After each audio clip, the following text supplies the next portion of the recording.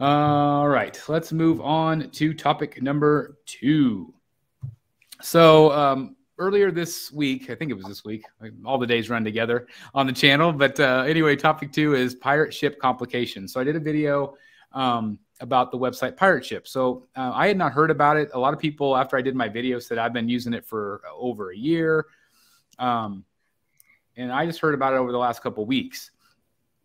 And basically, what it is again is it is a website. It's a third party website that allows you to um, get discounted, uh, like you know, 40 up 30, 40 percent off of you know quoted prices. Um, I, I, sell a lot um, as my collection comes in and out, and shipping prices have been insane. I, I mentioned it in the video that you know I'm needing to send a couple boxes back to um, Singapore uh, for XM, and I was quoted each box was two thousand dollars, and so they're like, you know, I still have those boxes. I haven't shipped them yet because like they're not going to pay two thousand, four thousand dollars to ship back a statue.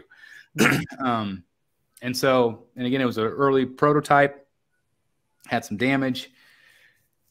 So, anyway, I found this pirate ship and I started shipping some things last week, and again, the prices were were phenomenal. Um, but then people started chiming in uh, a couple different groups and stuff that that people had posted that the issue is, is so could, there's an option to to pay for insurance. And that's what i did. I, I paid for the insurance. Um, it's through a, another third party insurer insurer. But from what other people were saying is is if you have breakage then it's it's basically pirate ship statue because th- there it's under their account where you are buying it from, buying buying the shipping from. So the, the statue would be shipped back to them, or the, the claim could be done back by them. now, I've not ever dealt with that personally, um, but do you guys see that as being a major issue of using a website like that?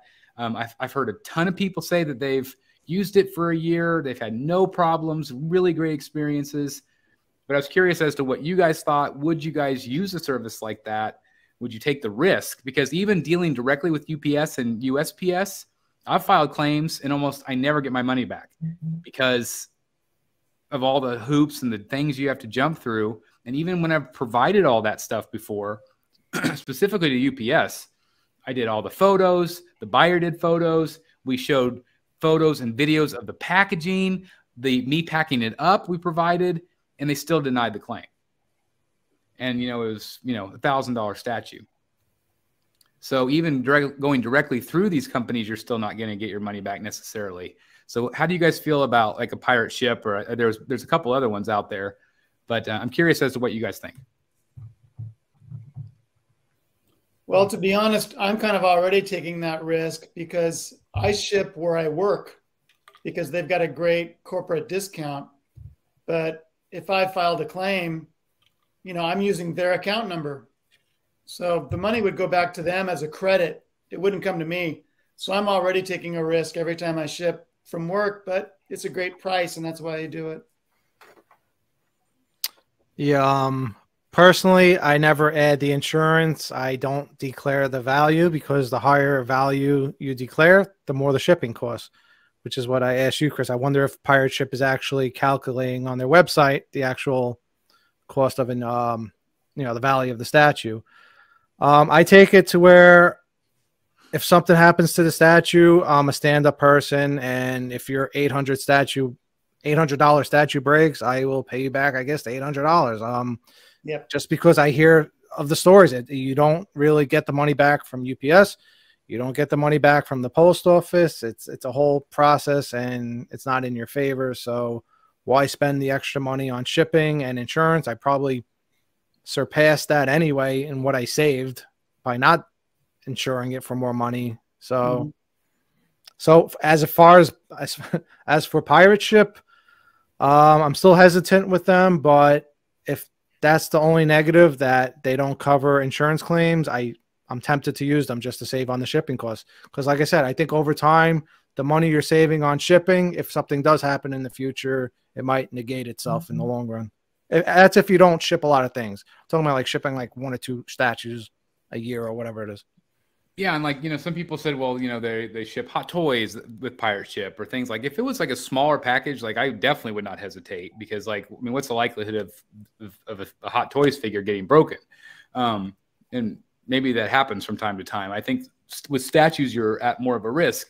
But even like I think of like knowing which company you're shipping. Like again, I've been shipping XM lately, and I've never seen packaging so so you know well done in my life. The like the way it's designed with the straps and the you know I haven't had anything broken. Period. And the, again, these are secondhand. Um, and so I wouldn't hesitate using Pirate Ship for XM. There might be maybe some companies that I don't feel like it maybe is as good um, with their packaging, and maybe I would wouldn't want to take the risk. But I had never heard of that of not declaring the value, um, and I didn't realize that that makes the, the, the price go up. I've never done that. Yeah, the more value declare, uh, it's true for UPS. So the more you put that the package is worth, the more the shipping price goes up on it. I mean, it, your your package can go from like forty dollars to like eighty dollars or ninety dollars if you go from saying it's a hundred dollar package or a nine hundred dollar package. So if you were let's let's use your eight hundred dollar example. Let's say you sell an eight hundred dollar statue, but you're you're the type of person that can't really afford just to refund that. You know, you don't have the extra cash laying around to do that, even though it's the right thing to do.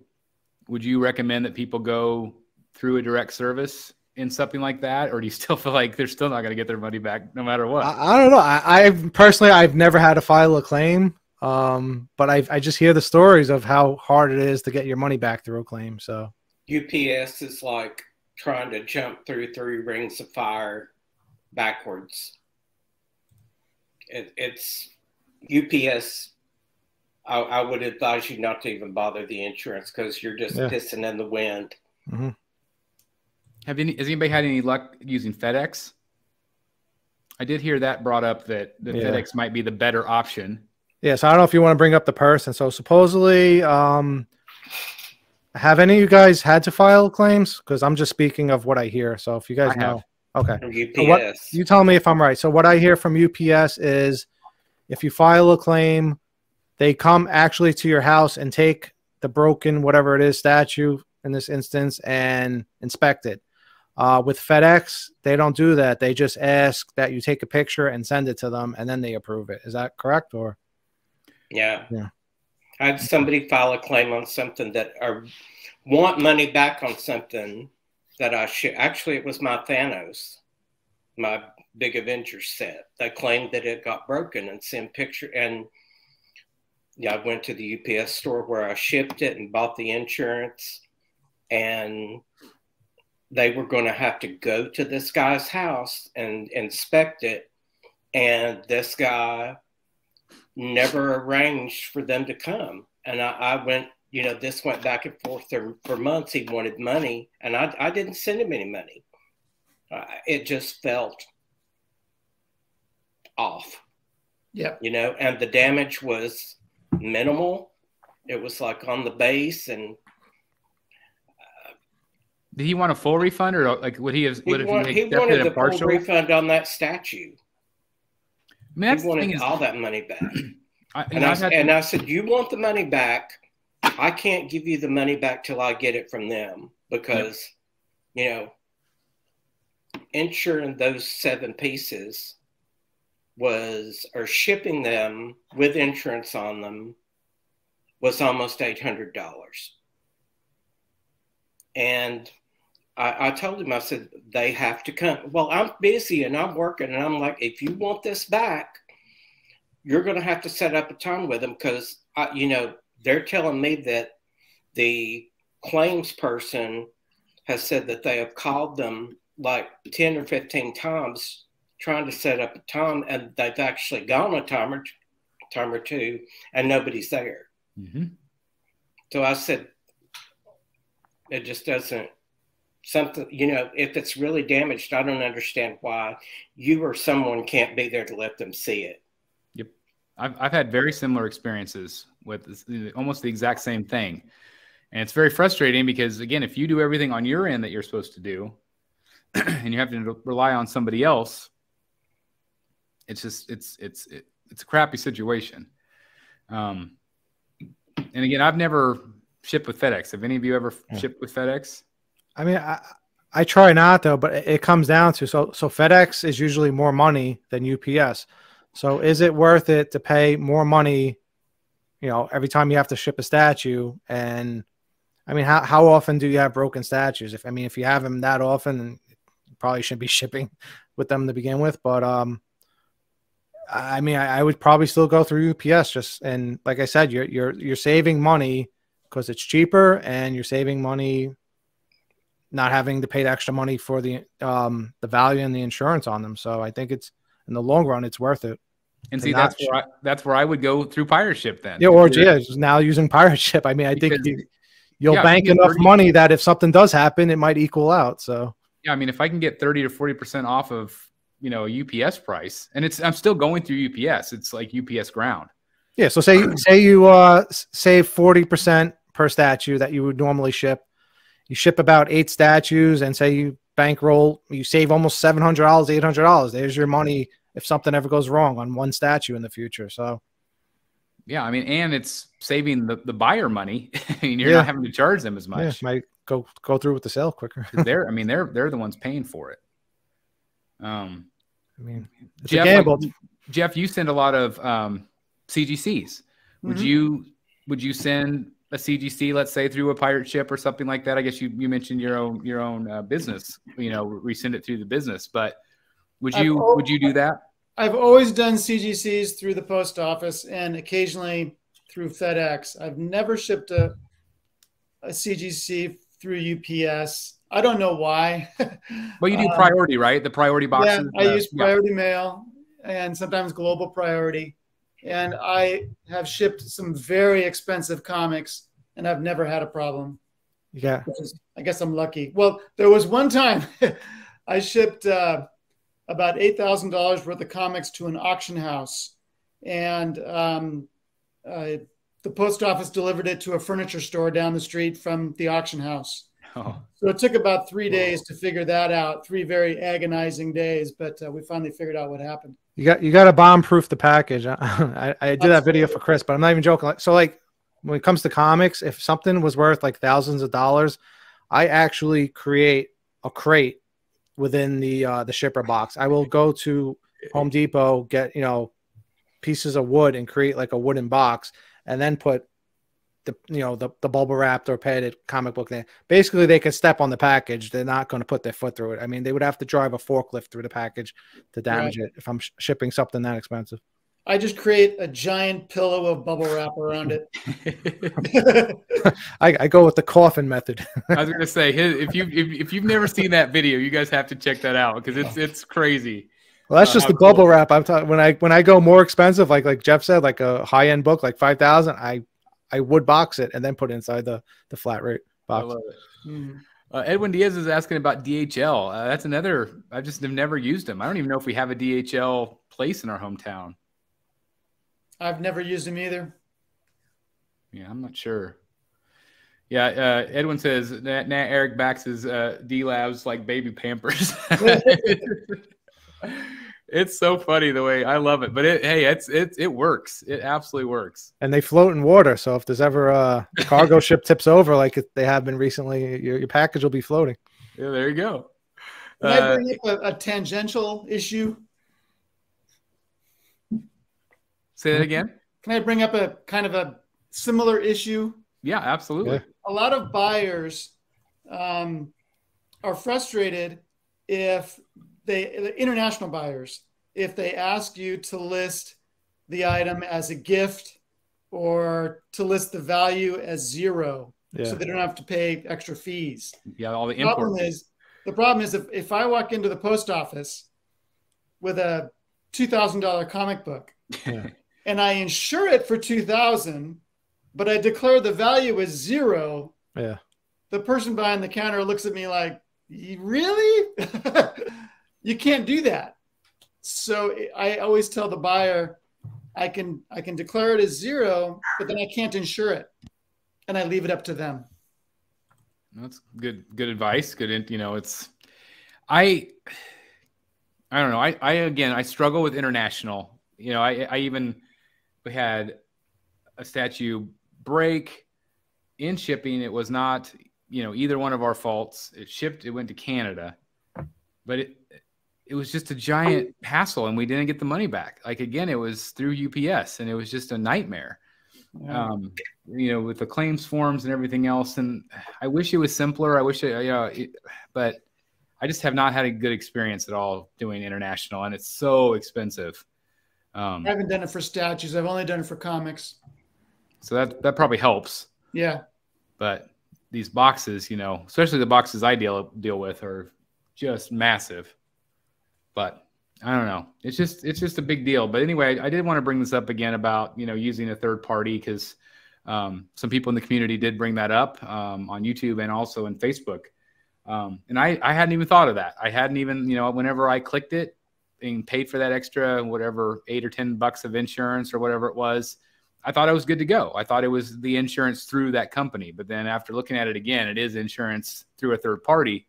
hmm And at the end of the day, whoever you buy from, if it's, you know, if it's a third party, they are the one that owns that account Yeah. and they will get the money back. I mean, I, I think it's worth rolling the dice to save the money. Um, but the only thing I don't like, and I don't know if it's true or not, is if something goes wrong with the package, they said it goes back to pirate ship and not to the original Yeah. shipper. So I that I don't like.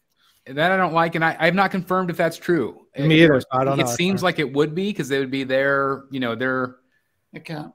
account. But, But at all the right, end so you you've used them before. So when you create the label, is your name not on the return address? it is. It's and it's Okay. a it, like I again, it was a UPS ground label. It's the exact same label. It's I mean, it's a it's a it's a UPS label.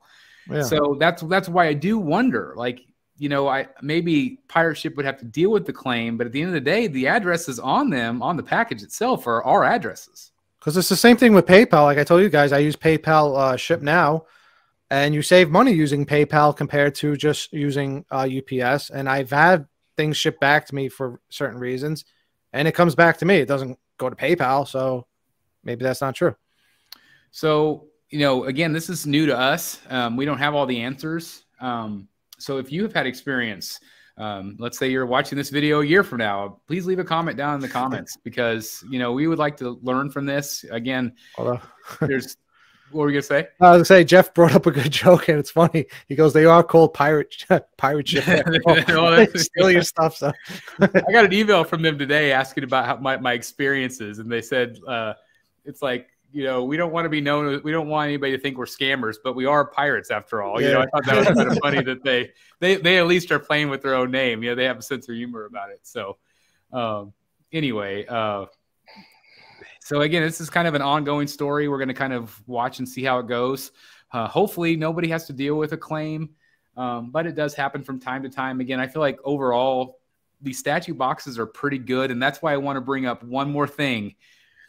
People hate hate keeping boxes. They hate keeping the styrofoam. They hate keeping the brown shippers. But if you guys even minutely might have the chance of ever shipping anything, do not have UPS pack your statue. Keep the statue boxes, guys. I know they take up a lot of room. They're a hassle, but at the end of the day, they're designed to keep that statue from breaking. Or even So- if you think you may have to move, Right. Yeah. trust me, because that it's a pain. Giant it's, pain. It's And a it's a pain giant to pack pain to them keep- up, but It's a giant pain to keep the boxes, but at the end of the day, Yeah. yeah, I mean, again, a lot of people say, "Well, God, Chris, I've never sold a statue in my life." I mean, even Matt said, "You've how many have you sold or or shipped?" I've sold one. The only other things I've ever shipped was something to return or damaged one to sideshow. But let's say let's say it's um you know ten years from now and you have a different hobby. Would Yeah. you have wished that you had kept all the boxes? And I- I, I keep my still. right, and I know you do. But I'm saying like I'm saying like to the you do? average collector, if you had all these statues and you like you're somebody like Matt that hasn't really sold very many, you keep you keep what you buy. yeah, Then like ten years, let's say, well now I'm into cars, now I'm into motorcycles or whatever or travel, and I'm gonna sell all these statues. Well, if you don't have those boxes, it's going to be near impossible unless you live in maybe a big giant city where there's a lot of collectors and you're and you know there's a lot of local buyers. But I, and not not to bring up like a sad topic or you know a bad tragedy topic, but uh, somebody brought it up in the groups. God forbid something happens to you, and now your family has to get rid of these statues. Yeah. they're gonna need the box to sell them. The statues aren't the statues aren't forever. Sometimes they have to get sold. So I've got a video coming out this week, and I bring that exact th- that exact thing up. It's like God forbid something happens to you. What the hell is your family going to do with these things? They're not going to. I mean, mm-hmm. more than more than likely, I, like my my family. As soon as I'm out the door, Yeah. boom, there these statues are gone. Sayonara. That's Be- a crafting room. That's has to be a brand new Day after to be a the funeral. video game room. Chris or is in the crafting room ground. It's a craft room. That's right. even But- if you were to move, say, and you want to bring it with you, the box you would need to lay out each piece and try wrapping them is going to be even bigger than the shipping box it came in. it would be nuts. And so again, just like just you guys got to bite the bullet and keep the damn boxes. that's that's my that's what I'm going to say about it. The funny thing is, we really only need one box. the one we go. Everybody could get rid of the boxes, but every, you know, except one person has to keep each one. Then they have to ship it whenever somebody, get, you know, has to move or wants to sell the statue, and then that person keeps it until the next person. So we just need a community warehouse. No, yeah, no. Every person would. It wouldn't be one person keeping all the boxes, but if one person kept a you know a box and then would ship it to the next person that needed it, we could have only one box for each statue going around the country at least. It could be one person in each country, maybe. You might be onto something. See? There you go. And just think like ship an empty box wouldn't be that much. Yeah, So it wouldn't. there you go. Yeah. I love it. That's actually, you know, as crazy as it is, I love it. And you the, the truth is you could really you could get rid of your boxes. And then you could say, I know um, Eric has this particular statue and I'm selling mine. Hey Eric, if I give you 50 bucks, will you ship me your box and I'll send it back to you? Actually, the the the, the, the buyer of, of it of mine will, will agree with him that he'll send it back to you or whatever fee you come up with. You I would do that. Uh, I, I say I love it. The, the- Ryan says the BSC Ooh. box sharing program coming soon from the Brotherhood of the Back Collectibles. I Rent the box. That's Rent that's the box. Great. There you go. Uh, I like uh, Ferenzi says uh, Sideshow and XM should sell boxes to customers. That's Yep. also not a bad idea. You know, the fact that it's like, okay, everybody gets rid of their boxes. You get rid, you, you get all that storage room back, or you don't have to pay for a storage unit. Yep. And then as soon as you say, well, you know, I am ready to sell, you know, I've enjoyed it for 10 years. I'm going to hit up Sideshow and they're going to charge me 40 bucks to send me an empty box. I'm gonna have to register that domain before somebody takes it. Rent a box, uh, rent a statue box.com. But I mean, I know, I know that that can never happen because again, all these are custom made for that statue to be shipped in the first place. Um, I can't imagine them having a warehouse of empty styrofoam. You know, I mean, that would be ideal, but that would be it would be nice to not have to worry about the boxes. But again, I do I do recommend, and again, I think that we absolutely should start the BSC box sharing program. So Jeff Lady, you're a genius. We're gonna we're gonna work on that behind the scenes and see what we can get going for you guys. I love it. Oh, Dan says it sounds like a custody battle with statues. I love it. I love it. Uh, thought Jeff was going to talk about a coffin for a second. That's Well, what I thought. You, you only need one box, too. and that's your own when you leave. uh, Mike says I, uh, I'm actually surprised Sideshow doesn't have a reseller or secondhand program. Uh, they, they- I think they kind of do it sometimes. So they- I think with if like with return, they'll they'll ship the return sometimes. I think, uh, but uh, I don't know. It would be nice to have some sort of program in place. Someone's Uh, going to make a lot of money someday doing that, and that, that's what happened with comics. Is people got tired of eBay, and the first website that really did it was Comic Link. They just said, "Hey, you can post your comics on our website. If it sells, you send us the comic. We get ten percent. We do all the paperwork. We do all the you know, and then we'll send you a check." And they've been going gangbusters ever since for decades now. So, Jeff, what do you think of? uh See, I've never used them. Uh, statue forum. I know you can buy and sell, but I think they make they have like a little bit more of like uh it's a little bit harder to get on there to sell things, right?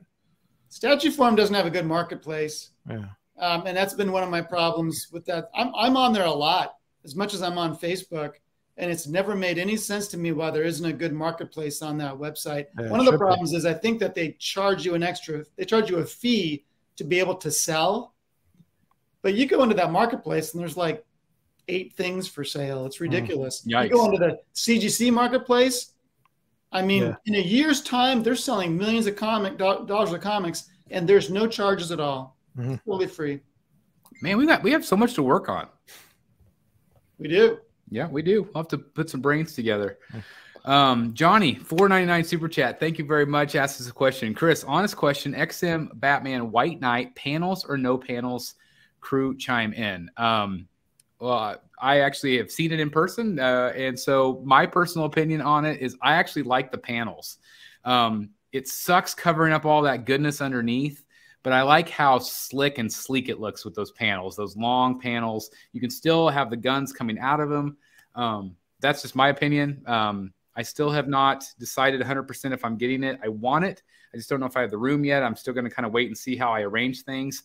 But that's how I would display it, I think. But the great thing about it is, is you can display it like that for a while and then take them off and display it the other way. So I don't know what you guys think about it. I don't know. I, don't know how much uh, you know interest you have in that piece. Uh, but panels or no panels, what do you guys think? I would go. yeah. I like those. I think they actually add a little bit more detail of a vehicle, which you don't get with Batman stuff typically. I, I hate to say it, but I'm a little bit over that piece. I went from it's the best piece in the world to I don't know, seeing newer pieces. I'm more excited about other pieces. But uh, yeah, I'd probably go with the panels. Um, I think I think the big the biggest thing is the space. Yeah, it's it's horizontal, which it. I know uh, Delaney, you ran into that issue with Catwoman, and Mhm. especially you, Chris, with horizontal pieces. It it's not easy uh, displaying them. It's not. Sure. Uh, you have to have like a, lar- a like a long garage shelf or something like that. You know, Mhm. those those are helpful. Uh, Mike Helms just became a brand new member. Thank you very much. I really appreciate it. Thank you very much. We've had a couple of new members tonight, so thank you very much for supporting us in that way. I really appreciate it, and thank you also for that super chat earlier. Again, it all goes back into the channel, so thank you very much. Hey guys, thank you so very much for watching today. And if you're new here, please hit the subscribe button right here on the screen and check out these two awesome videos. I think you're going to love them. And also, please join us on social media Facebook, Twitter, Instagram, and TikTok. I would love to have you join in all the fun. Thank you guys so very much for watching. See you in the Batcave.